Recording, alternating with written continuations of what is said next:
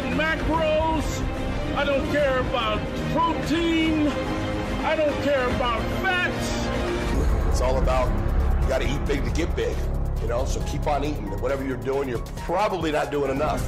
Because I get questions all the time. I, I do eat big, and I'm not. Well, you're not eating enough. More, more, more, more.